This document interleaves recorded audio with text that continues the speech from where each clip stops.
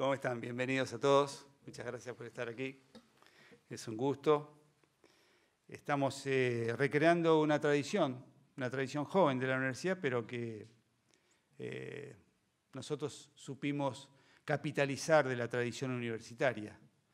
La lectio brevis, como lo dice su, su origen, la palabra del latín, que muchas universidades con una un origen en un rito clerical, este, daban estas eh, presentaciones académicas cortas, por eso brevis, inclusive los italianos llamaban, este, eh, utilizaban esta modalidad en las jornadas previas a los recesos este, académicos. Nosotros, en cambio, eh, adoptamos esta experiencia, esta tradición, para iniciar nuestros ciclos lectivos.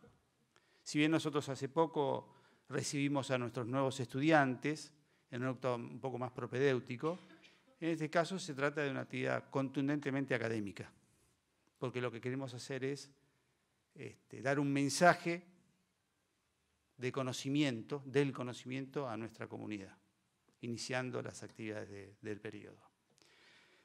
Lo hicimos eh, ya hace más de 10 años, comenzamos esta experiencia, en 2005, 2006, si mal no recuerdo, con, las presentaciones de los que para nosotros son nuestros referentes disciplinares. O'Donnell, Frash, Burucúa, Calvele, Tedesco, eh, Sarraceno, Malcolm, algunos extranjeros, Chimoli, Bilbauen, y en los últimos años Acuña y Solerilia.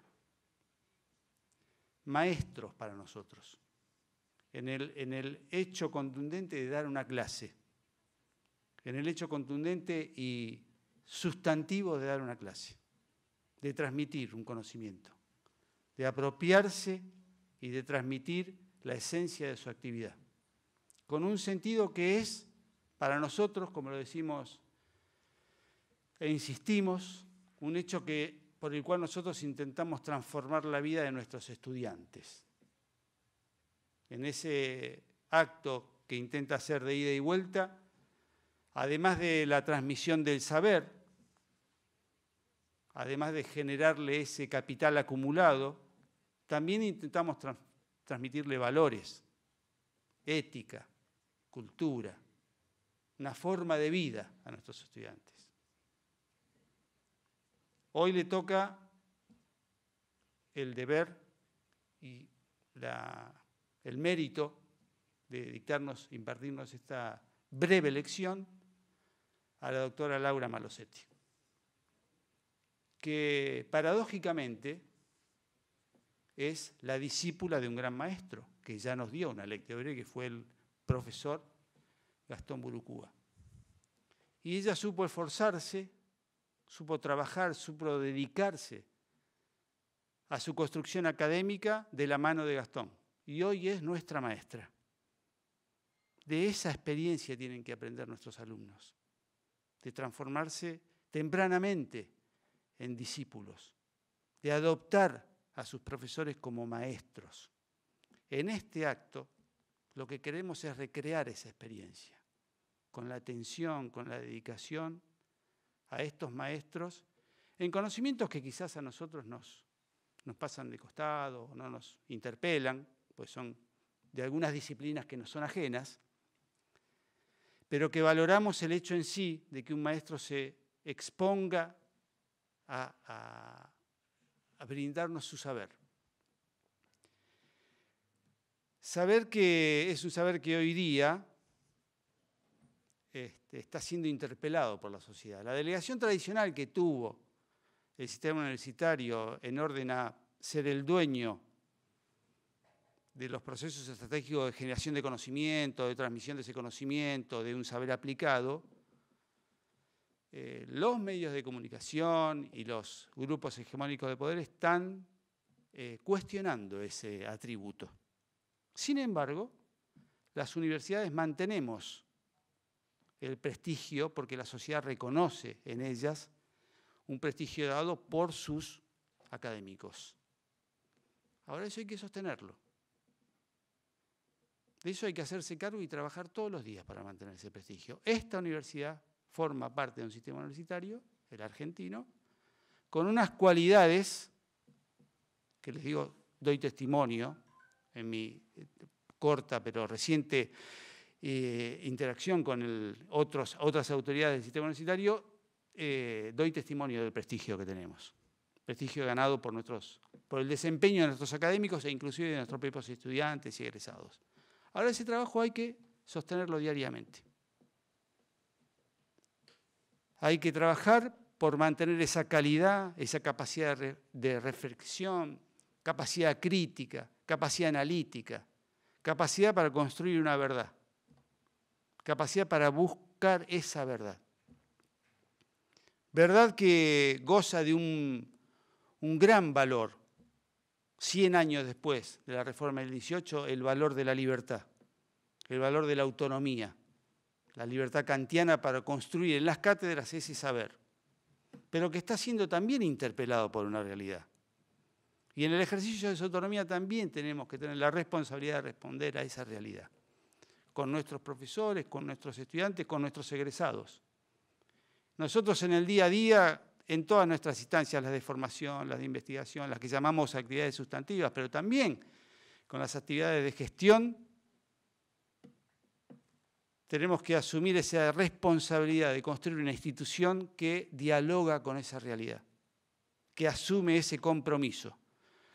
Porque la vocación con la que los maestros, hoy Laura nos va a impartir esa clase, esa vocación se ejerce con un compromiso, un compromiso que surge de dialogar con otro, estar comprometido con esa realidad, pero a partir de una ideología. La ideología que es propia, que no, nos impone, nadie nos impone una idea, pero sí tenemos que defenderla y comprometernos con esa idea, día a día. Y es el mensaje que le queremos dar a nuestros estudiantes. Pertenecer a una institución pública y ser el resultado de una institución pública tiene una carga ideológica ineludible. No pasamos por esta institución sin pena ni gloria. Lo importante es que además de que acumulemos un saber, acumulemos unos valores que nos hagan responsables por ese saber que tenemos y por el cual rendimos cuenta a la sociedad en el ejercicio de nuestra profesión, en el ejercicio de nuestro saber científico, tecnológico.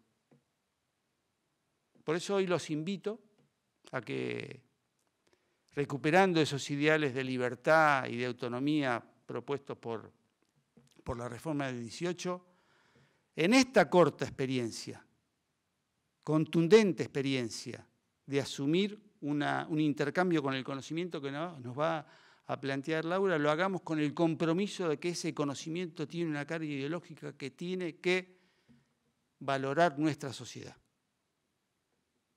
Y que esa, esa ideología tiene que ser lo que nos motiva día a día en el trabajo cotidiano a tomar decisiones, a ir adelante, y que nuestro ejercicio académico y científico sea honrado con esa idea que tiene atrás, que es construir una institución prestigiosa al servicio de la sociedad. Así que disfrutemos a Laura.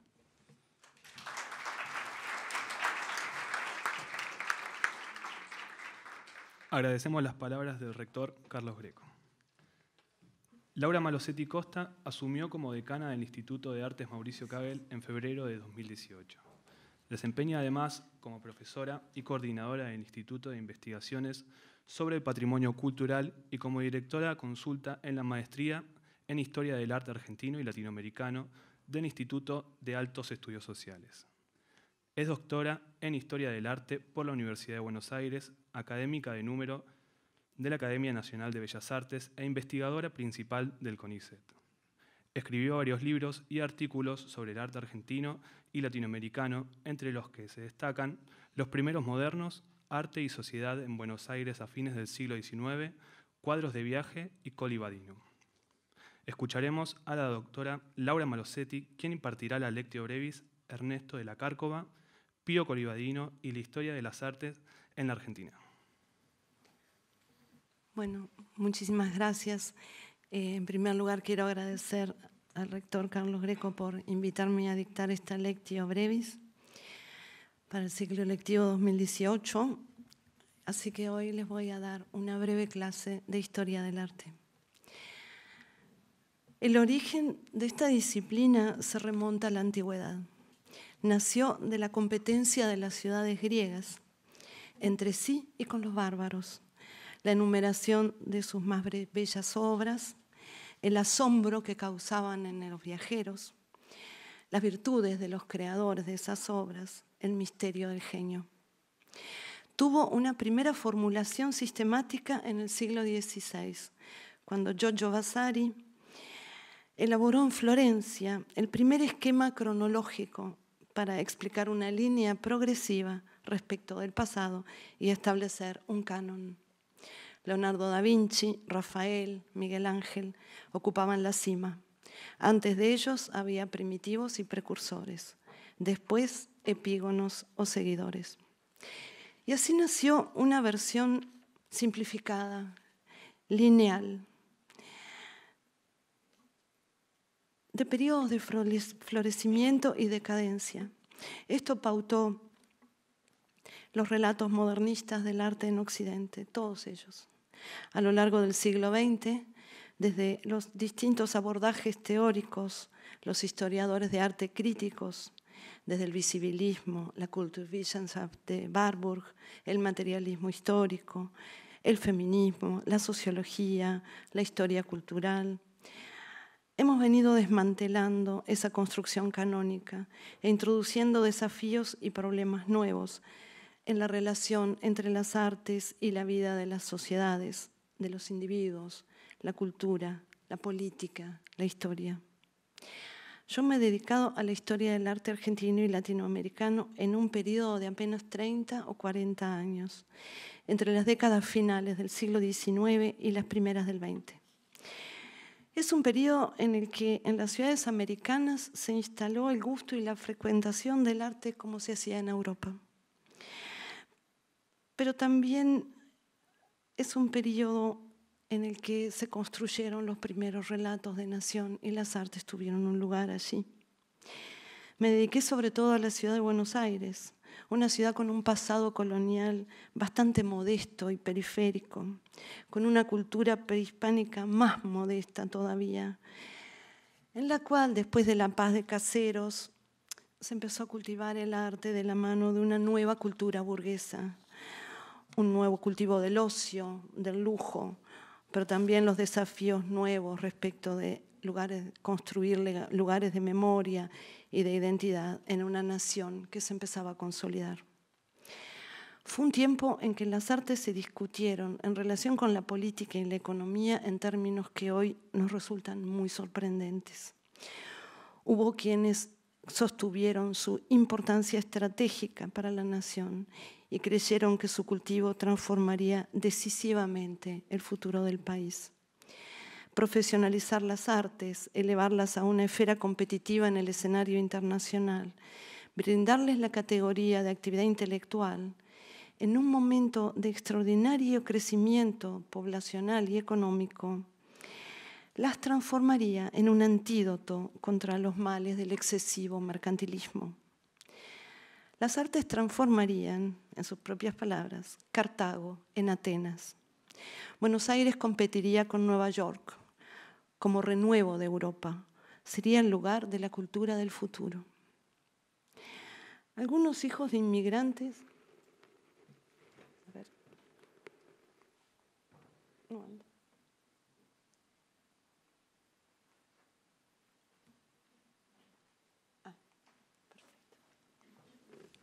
Algunos hijos de inmigrantes, sobre todo italianos, a los que llamé el primeros modernos, hicieron todo fueron artistas, fundaron una academia, escribieron en los diarios, abrieron salas de exposición y museos, viajaron a Europa cuando ya sabían todo lo que iban a encontrar ahí.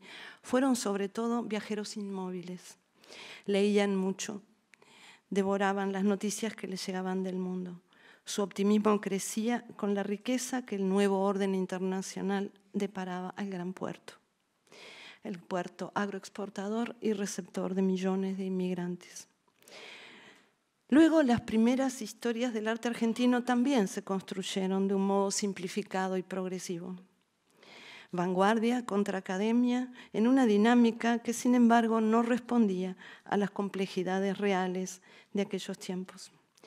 Ese periodo entre siglos en el arte argentino fue considerado oscuro y poco interesante, el patito feo de la historia del arte argentino el momento de máxima docilidad a los modelos europeos que se adoptaban con inexorable retraso. El gran desafío fue desmontar esas simplificaciones, procurar entender los distintos espacios y escalas en que las artes transformaron la historia cultural, social y política de la Argentina. Hoy les voy a hablar de dos artistas que tradicionalmente fueron ubicados en esa historia simplificada y progresiva en dos generaciones distintas, aun cuando nacieron apenas con tres años de diferencia uno del otro. Ernesto de la Cárcova fue identificado con la generación del 80 y Pío Colibadino con la generación del centenario. Los dos fueron artistas y educadores y también fueron objeto de dos proyectos colectivos que llevamos adelante a lo largo de varios años en esta universidad. Hoy, en mi ensayo de desmontaje de aquellas periodizaciones simplificadas, voy a presentarlos al revés, siguiendo el orden en que fuimos desarrollando esas construcciones colectivas de conocimiento en nuestra universidad y que siguen dando nuevos frutos. Así que hablaremos primero de Pío Colibadino. Era hijo de una familia de trabajadores italianos inmigrantes. Su padre era carpintero. Nació en el barrio de la Concepción en 1869, en, cerca de la boca del riachuelo. Y a los 20 años, con el dinero que había ganado pintando zaguanes y techos con Luigi Luzzi en la empresa de su padre, viajó a estudiar a Roma. En 1907 volvió a Buenos Aires, luego de 17 años en Italia, y fundó el grupo Nexus con los pintores Carlos Ripamonte, Bernardo de Quirós, Fernando Fader, Alberto Rossi, Justo Lynch y los escultores Dresco y Rogelio Urtia. La intención del grupo era fundar un nuevo arte nacional que, sostenido por la tradición y la técnica europeos, lograra encontrar un acento propio, característico. Colibadino volvió, sin embargo, como un gringo a su ciudad natal, que ya no era la misma. Una inmensa ola inmigratoria transformaba en esos años a Buenos Aires de un modo vertiginoso.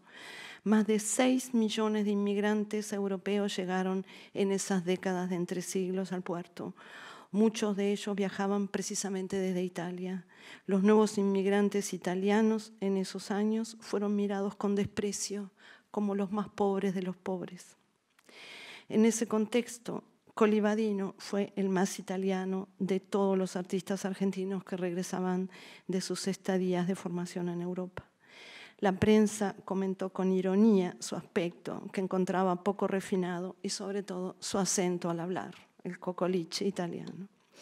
Varias revistas publicaron caricaturas de su figura recia, de su cara redonda, que encajaba mal con la idea de artista que se había instalado en la ciudad. Los modernos de la generación del 80 habían cultivado un refinamiento elegante e identificaban a París como el modelo a seguir en cuestiones de arte, aun cuando en su mayoría también eran descendientes de italianos. Sin embargo, Colibadino llegó como un artista ya consumado, una garantía para el arte nacional.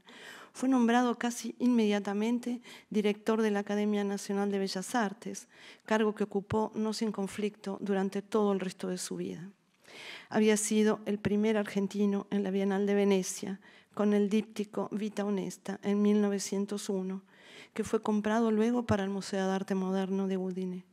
Y en 1903 con Hora di Pranzo, la hora del almuerzo, una pintura luminosa que desplegaba una escena obrera de, de asunto social. En Roma, nuestro pintor había adquirido cierta celebridad en el círculo de la bohemia artística con sus famosas decoraciones teatrales para los bailes de carnaval del Círculo Artístico Internacional.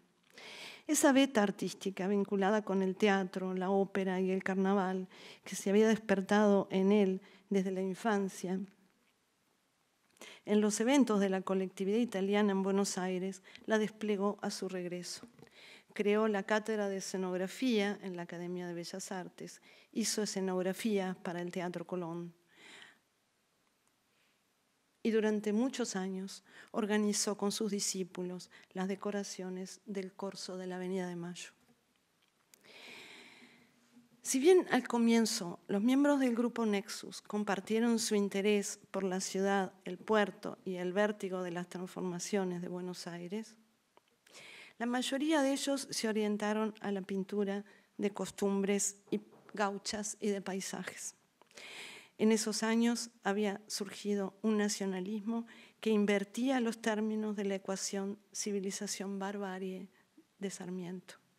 La Pampa fue pensada como un reservorio de una tradición de la que, se iría, de la que iría a surgir la tan ansiada identidad nacional, mientras que Buenos Aires se volvía una nueva forma de barbarie, con las multitudes que llegaban de ultramar, trayendo consigo la confusión de lenguas, nuevos hábitos y las malas semillas del socialismo y del anarquismo. El vértigo de los negocios, la especulación financiera, por otra parte, habían sustituido la vieja aldea por la fealdad y la vulgaridad de la vida urbana moderna, sobre todo en aquellas zonas invadidas por el aluvión inmigratorio. Esa ciudad, la nostalgia de la aldea que retrocedía, la pujanza del progreso, sus bordes, las demoliciones incesantes, los puentes de hierro, las modernas avenidas, los edificios industriales, las usinas brillando a orillas del riachuelo, las barriadas pobres, las plazas elegantes. Todo eso que era Buenos Aires entonces fue el centro de interés casi excluyente en la obra de Pío Colivadino. Él fue, sin lugar a dudas, el primer paisajista moderno que tuvo la ciudad. Se pensaba a sí mismo como iniciador de una modernidad que abandonaría los grandes asuntos melodramáticos a la europea para descubrir el espíritu nacional en cosas simples e inanimadas. En los artículos periodísticos que comentaron la primera exposición del Nexus, el artista más elogiado fue Colibadino. Las distintas descripciones de sus obras muestran que lo suyo era un verdadero desembarco, poniendo en juego las distintas facetas de su estancia europea. Se mostraron sus grandes cuadros exhibidos en Venecia, aguafuertes, afiches, dibujos, óleos de pequeño formato, bocetos, pero el cuadro que más interés despertó fue el farol, el que vieron al comienzo, que era un paisaje típicamente porteño en los años de la electrificación. El cronista del diario La Nación lo elogiaba sobre todo por la sencillez del motivo. Colibadino pintó muchos faroles a lo largo de su carrera y muchas calles suburbanas y muchas esquinas de barrio iluminadas por faroles a gas. Esto llevó a que se pretendiera caracterizarlo como el pintor nostálgico de la ciudad que se perdía, el pintor de los faroles. Sin embargo, sus puentes y usinas, escenas de puerto, edificios en construcción, no podrían de ningún modo pensarse como nostálgicos o evocadores del pasado, todo lo contrario. Aún así, un elemento que caracteriza la totalidad de los paisajes urbanos de Colibadino es la luz. Pintó escenas urbanas nocturnas, la luz del amanecer, el ocaso, escenas iluminadas por el sol ardiente del mediodía, pero además pintó las primeras usinas, edificios imponentes que representaron real y simbólicamente la, la electrificación de la ciudad moderna. Buenos Aires fue convocada por este artista en el cruce del tiempo y el espacio produciendo imágenes celebratorias de su crecimiento que a la vez poetizaron la nostalgia de la aldea que se perdía al ritmo de la dinámica del progreso. Él dio forma a una estética del cambio, de la transformación en proceso, demoliciones, andamios, obras en construcción, prevalecen en su iconografía. El contraste entre lo viejo y lo nuevo, entre la aldea que iba desapareciendo y la ciudad moderna que se levantaba de las ruinas de aquella. En esos cuadros era frecuente encontrar el humo de trenes, las chimeneas de las fábricas, las usinas levantándose en el cielo urbano, el perfil de nuevos edificios altos y las construcciones industriales, la belleza geométrica de los hilos, tanques y usinas, el perfil poderoso de las grúas, los elevadores del puerto la presencia espectacular de los puentes de hierro en el riachuelo y las multitudes hormigueando en el puerto entre los trenes y los barcos. La llegada de los inmigrantes, el trabajo de los estibadores, el ocio, los automóviles modernos estacionados frente a iglesias antiguas. Una ciudad que iba tomando un perfil nuevo fue registrada paso a paso por un artista que, sin dejar de mostrar cierta nostalgia, celebraba una belleza moderna de edificios y máquinas. En esos cuadros de Colibadino es posible percibir la seducción de las líneas rectas y los perfiles netos, cosa curiosa en un hombre que había dado sus primeros pasos como decorador de edificios, pintando rosas en tonos pastel en la yesería de antiguas casas porteñas. Cuando empecé a trabajar sobre su obra, conocí el Museo Pío Colibadino, una casa humilde en Banfield que había pertenecido a su sobrino y heredero y cuya viuda había donado a la Universidad de Lomas de Zamora a cambio de su manutención y cuidado. La Universidad de Lomas de Zamora no la había cuidado mucho. La casa se llovía y tanto el archivo como el fondo de taller del artista, con más de 100 obras, se encontraba en un estado de conservación más que precario. Allí entraron entonces en acción José Emilio Burcúa y Néstor Barrio, decano del Instituto Tarea. Ambos acababan de ganar para la UNSAM el concurso internacional que había abierto antorchas para la adjudicación del taller Tarea. Mediante un convenio con la Universidad de Lomas, todos los materiales del Museo Colibadino fueron a Tarea, donde permanecieron por más de 10 años. Nora Altrudi y su equipo restauraron los papeles, organizaron, clasificaron y digitalizaron el archivo, que hoy está abierto a la consulta de estudiantes e investigadores. Otro equipo, dirigido por Néstor Barrio y Damasia Gallegos, estudió y restauró las obras de pintura. El equipo científico, liderado por Fernando Marte, caracterizó soportes, ligantes, pigmentos, Junto a ellos, los historiadores de arte llevamos adelante una investigación que culminó en una gran exposición en el Museo Nacional de Bellas Artes en 2013, Colibadino, Buenos Aires en construcción, cuyo catálogo está en línea en el sitio del museo.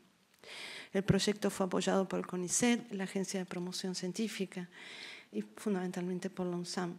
Finalmente, obras y archivos volvieron a la Universidad de Lomas de Zamora y, y este museo colibadino acaba de reabrir sus puertas para alivio y alegría de los vecinos que habían encabezado una protesta porque creían que el museo había cerrado y las obras estaban robadas. Varias tesis de doctorado y maestría han llevado este proyecto mucho más allá de sus primeros alcances. La de Catalina Fara, la de María Filip, Larisa Mantovani en el IDAES, la de Giulia Murache de la Universidad de Calabria, la de Lawrence Dynens en la Universidad de Lovaina, en Bélgica, la reciente y hermosa tesis de Mariana Buscaglia en el posgrado de tarea, entre otras. Y aquí tenemos una foto de parte del equipo que trabajó en el montaje de esa muestra. A su llegada a Roma, Colibadino había compartido un tiempo con Ernesto de la Cárcova. Ocupó el taller que Cárcova dejaba para regresar a Buenos Aires en 1893 con su obra emblemática, Sin pan y sin trabajo, sin terminar. Cárcova dejó de regalo a Colibadino uno de los bocetos de su cuadro, que venía pensando y reelaborando para hacer su regreso triunfal a Buenos Aires en el Ateneo de 1894. Sin pan y sin trabajo tuvo una recepción extraordinaria en la prensa y significó la temprana consagración del artista, que por entonces tenía solo 28 años. Ese cuadro es un símbolo de la protesta social en la Argentina desde entonces. Ernesto de la Cárcova era, en palabras de Rubén Darío, un dandy socialista. Nació en una familia acomodada y tradicional, de hijos de algo oriundos de Santander. De la Cárcova había sido, a su regreso de Europa, también uno de los primeros miembros del Partido Socialista, de la agrupación que había nucleado a los socialistas argentinos. Cuando expuso sin pan y sin trabajo el diario La Vanguardia, que pertenecía a este grupo, elogió, como todo el mundo, el cuadro, pero criticó al pintor, cuyo compromiso con los ideales socialistas ponían en duda a partir de los debates estético-políticos que se llevaban adelante entonces. No había que pintar cuadros de miseria para que se conmovieran los ricos burgueses, sino que había que hacer arte para el pueblo. Tal vez por esa razón, Cárcova no pintó más cuadros obreros para el salón, sino que dedicó el resto de su vida a la promoción y formación de artistas y actividades artísticas que contribuyeron a educar al pueblo. Hizo concursos de fachadas, compró esculturas para las plazas y para mejorar sus condiciones de vida. Dirigió escuelas de artes y oficios vinculados con artes mayores y menores, promovió leyes, fue edil, concejal, hizo ordenanzas políticas públicas para mejorar el espacio urbano, patronato de becarios en Europa, etc. La producción artística de Cárcova desde entonces no fue muy vasta. En la exposición póstuma organizada por la Asociación Amigos del Arte poco después de su muerte en 1928, su viuda reunió apenas 35 cuadros, 10 medallas y algunos dibujos. Después de un comienzo brillante, su trayectoria como artista se había visto entreverada en una intensísima actividad docente, institucional política. En este sentido, él fue un miembro conspicuo de aquella generación de artistas e intelectuales que en las últimas décadas del XIX y las primeras del XX se volcaron de lleno a la concreción de ideales filosófico-políticos en los que el arte ocupaba un lugar crucial. Hubo más tarde, sin embargo, un antagonismo entre estos dos pintores respecto del carácter de la educación artística, un tema que nos interesa particularmente en el Instituto de Artes de la. Ernesto de la Cárcova dirigió, junto con Eduardo Sibori, la Academia de Bellas Artes, cuya nacionalización habían logrado en 1905, hasta el regreso de Colibadino y sus colegas en 1908. Como han mostrado dos jóvenes doctorandas, Larisa Mantovani y Giulia Murache, que también trabajan con nosotros en el IDAES y en Tarea, la reforma de Colibadino se propuso una orientación hacia las artes decorativas industriales, pensando en la inclusión de un creciente número de jóvenes que gracias a la coyuntura de la guerra propiciaba la sustitución de importaciones y podía aplicar su creatividad a la industria. Enseñar en las fábricas El amor a lo bello, titularon ellas su artículo en el que analizan aquella nueva orientación de los estudios artísticos en la academia bajo la dirección de Colibadino. Los estudios se organizaban en tres tramos, cursos elementales, preparatorios, superiores, y se dividían en una sección de bellas artes y otra de artes decorativos. En uno de los apuntes relativos a la academia que está en su archivo, Colibadino reflexionaba. Los profesores, entre ellos Cárcova y Sibori, no eran muy partidarios de que la enseñanza tuviera un carácter práctico. Ellos nacieron y crecieron con todas las comodidades. No tuvieron que ganarse la vida, pudieron estudiar y dedicarse al gran arte. Y claro está que ellos pensaron que yo quería rebajar el nivel de la enseñanza en la academia, encarándola desde el principio en forma práctica y útil. Dirigida por Colibadino desde 1910, la academia se transformó en ese sentido. Se crearon orientaciones de ornamentación decorativa, eh, después talleres de agua fuerte en el 11, después escenografía, litografía. Entonces, ¿qué pasó? No había más lugar para aquel idealismo socialista, para aquella aristocracia del espíritu en el que creía Cárcova. Desde su renuncia a la dirección de la academia en 1908, Cárcova se fue a París como patrono de becarios en Europa. Después de la Primera Guerra, tras haber protegido a los jóvenes estudiantes y fue condecorado con la Legión de Honor porque creó un hospital de sangre, Cárcova volvió a Buenos Aires y volvió a proponer una escuela de arte libre, aristocrática, para pocos. Esta vez rigurosamente seleccionados, para que pudieran crear en absoluta libertad y gozando los beneficios de una educación gratuita de alta calidad, sin horarios, sin obligaciones, sin calificaciones, para que pudieran crear en absoluta libertad y gozando los beneficios de la educación pública. Así fue diseñada la Escuela Superior de Bellas Artes, que creó y dirigió durante los cuatro últimos años de su vida y que poco después de su muerte, a iniciativa de sus exalumnos, lleva su nombre. En 1923, Cárcova había obtenido del Ministerio de Agricultura la cesión de una caballeriza del Lazareto Cuarentenario de Animales en el balneario municipal para instalar en aquel lugar extraño e inhóspito su Escuela Superior de Bellas Artes. Los primeros estudiantes lo llamaron el paraíso y recordaron los largos viajes en carreta para llegar ahí y su ocupación principal en los primeros tiempos, que era sacar bosta con palas de los galpones que serían sus aulas. Tengo acá una cita que describe ese lugar, pero Aquella institución se puede considerar la obra más acabada de Ernesto de la Cárcova. Allí no solo construyó nuestro artista los planos de reforma de los galpones y los planes de estudio de aquella botega que tenía un examen de, ingreso riguroso y, y, era absolutamente libre, sino que también aportó sus muebles, sus lámparas, sus mayólicas, azulejos y otros objetos de su propiedad que había traído a su regreso de Europa.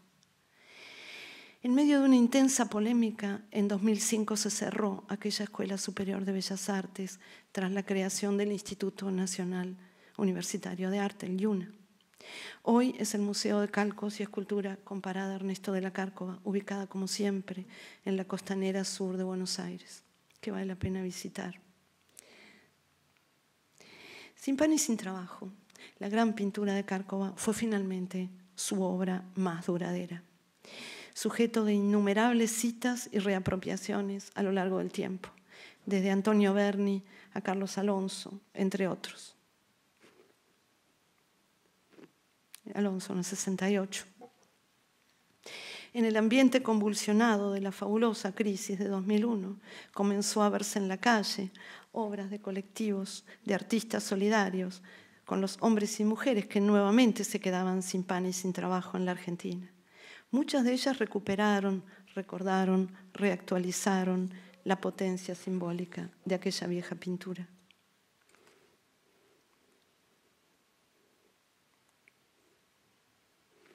En 2016, y en medio de una nueva crisis laboral, con un grupo de colegas, Carolina Vanegas Carrasco, María Isabel Baldassarre, Georgina Glusman, Verónica Tell, Rosario Espina, Dolores Canuto, entre otros, formulamos una propuesta que quiero comentar aquí, finalmente.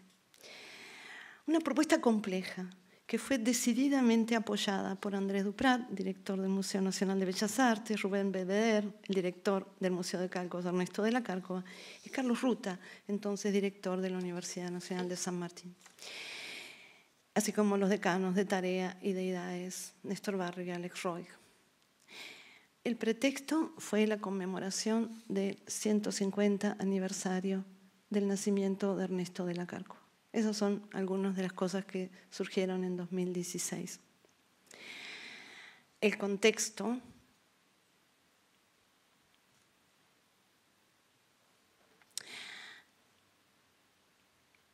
fue la crisis, la crisis eh, de que entre 2015 y 2016 eh, había despedido una gran cantidad de empleados del Estado y en particular empleados de museos, bibliotecas e instituciones culturales.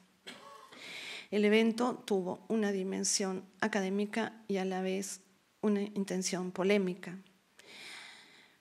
Nos propusimos poner en escena la faz política del artista y su obra, tanto como la de algunos desarrollos contemporáneos de la historia del arte argentino y su interacción con otras ciencias sociales. Tres equipos de investigadores, educadores, artistas, trabajamos en ella, poniendo en evidencia la productividad del trabajo con los archivos históricos para proponer una intervención significativa en la historia del arte en el presente.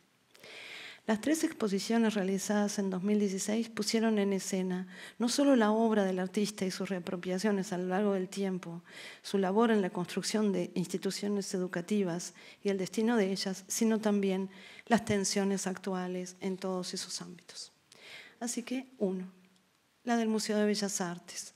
Allí dedicamos una sala a la reconstrucción de aquella exposición de 1928 con todas las obras que pudimos reunir de aquellas 35 que había reunido la, viuda. La intención inicial de reconstruir como un facsímil aquella, habíamos logrado ubicar todas las obras, fracasó, sin embargo, lamentablemente, porque algunos grandes coleccionistas, por razones de evasión impositiva, se negaron a prestar sus obras al Museo Nacional. Las grandes colecciones de arte en la Argentina, que alguna vez tuvieron vocación pública y que son la base de los museos, hoy niegan sus obras al museo. No son todos, pero hay algunos.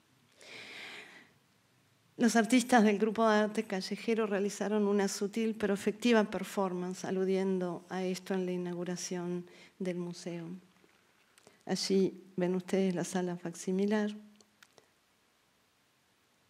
y una segunda sala dedicada a Sin Pan y Sin Trabajo, la pintura se exhibió junto a un boceto preparatorio conservado por la familia y los estudios técnicos que se hicieron sobre ella por primera vez.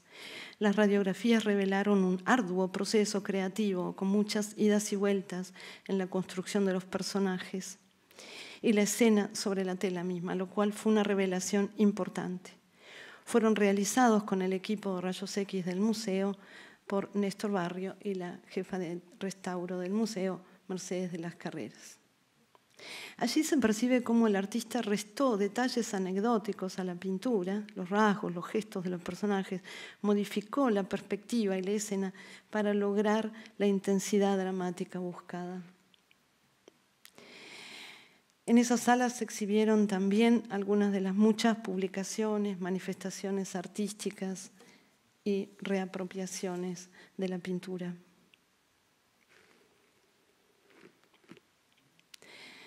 Obras de Gac, de Tomás Espina, de Jorge Pérez, entre otros, fueron exhibidas, además de algunas pantallas con muchas obras. Muchas obras que se produjeron para la web, como este, memes que circulaban en Facebook y en Instagram, recopilados por Carolina Vanegas, que resultaba imposible exponer en su totalidad en la escena.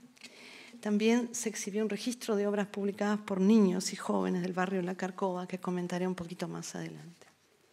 La segunda exposición, vinculada con aquella, recuperó la memoria del origen y primeros años de la Escuela Superior de Bellas Artes en las caballerizas de la Costanera Sur.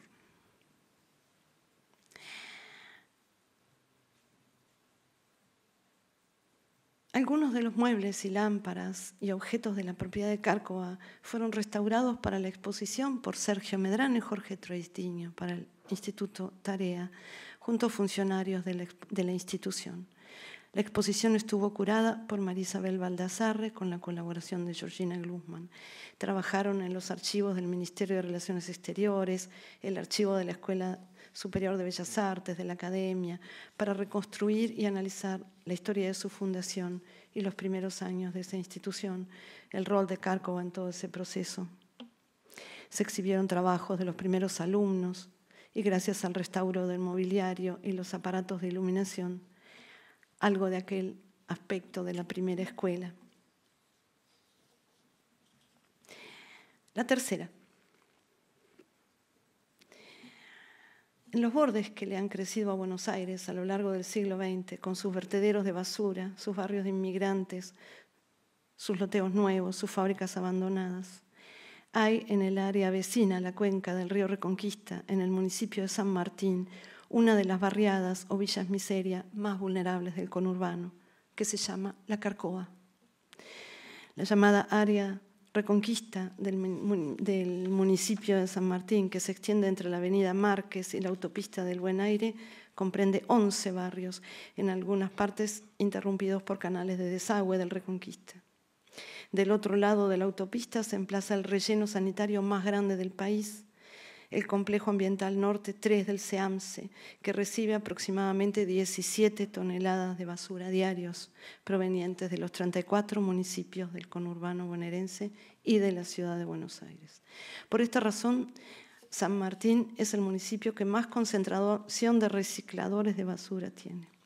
Los vecinos y vecinas dependen de la recolección informal de basuras y están sometidos a condiciones sanitarias y de contaminación críticas son numerosas, fuente de numerosas situaciones de conflicto y violencia. En el barrio La Carcova, donde viven más de 12.000 personas, la mayoría de las familias viven de la recuperación de mercadería y materiales en el basural. Los diversos contextos políticos fueron excluyendo cada vez más a estas miles de familias de escasos recursos. La Universidad de San Martín tiene allí una presencia activa, trabajando en la inclusión de sus niños y jóvenes en el sistema educativo.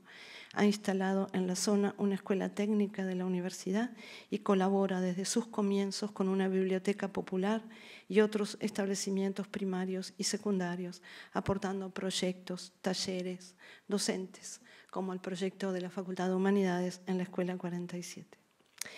La Biblioteca Popular de la Carcoa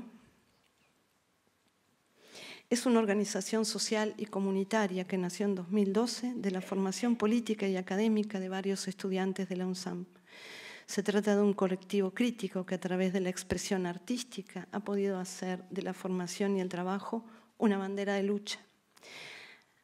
La Carcova se llama así porque la calle que atraviesa tiene el nombre de Ernesto de la Cárcova. Esa vía desemboca, como ironía del destino, en una fábrica abandonada. No son muchos los vecinos del barrio cuyo nombre se pronuncia diferente, sin acento, que recuerden o sepan la razón de ese nombre y la historia de su barrio. Como parte del proyecto de esta exposición, trabajamos desde la UNSAM con los directores, profesores de artes plásticas, y otros profesionales que colaboran en las escuelas del barrio para vincular a los alumnos de esas instituciones con el nombre y la historia de su barrio y trabajar a partir de Sin Pan y Sin Trabajo en temas como la injusticia y la exclusión social. Comenzamos con la, donación de libros y catálogos a sus bibliotecas. Eh, hicimos charlas en las instituciones, visitas guiadas al Museo Nacional de Bellas Artes, al Museo de Calcos Ernesto de la Cárcova. Para ello contamos con la colaboración de los colegas del área educativa de los museos y del ONSAM, que aportó la logística y organizó los viajes. En muchos casos, en la mayoría de los casos, era el primer viaje a la capital de esos niños y jóvenes. A partir de estas actividades, ellos trabajaron con sus maestros en una reflexión que resultó en una jornada de arte y una exposición en el edificio de Ciencias Sociales de la UNSAM, en la que alumnos de estas instituciones educativas estamparon remeras, realizaron un evento musical, una obra de teatro y exhibieron dibujos, collage, cortos cinematográficos y realizaron una obra mural que todavía puede verse en la entrada del edificio de sociales.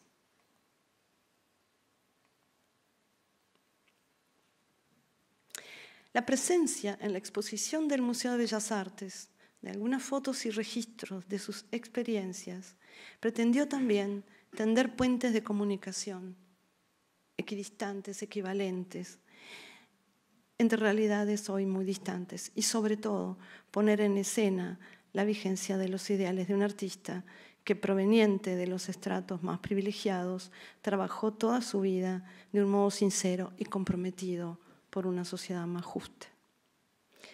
Hoy el proyecto continúa. La UNSAM obtuvo un subsidio otorgado por el Ministerio de Promoción Social para el voluntariado universitario, gracias a la cual la Biblioteca Popular de la Caucova pudo adquirir mesas, bancos, materiales artísticos para su actividad educativa. Está en marcha un proyecto de reconocimiento institucional de la UNSAM para continuar con viajes de niños y jóvenes a diferentes museos a lo largo del tiempo, eh, que esto lo dirigen Silvia Dolinco y María Isabel Baldassarre. Y mm, por otra parte, se han presentado proyectos de investigación y catálogo del archivo de la Biblioteca Fundacional de la Escuela de Bellas Artes para continuar la tarea iniciada en 2016. Recapitulando entonces, más allá o más acá de cuestiones estilísticas o cronológicas, el trabajo sobre la obra de aquellos maestros de entre siglos viene siendo en nuestra universidad un instrumento transformador para la conservación del patrimonio, para la inclusión social, la creatividad y la resignificación del pasado, con miras al futuro de los jóvenes que han participado y siguen participando en estos proyectos colectivos. Muchas gracias.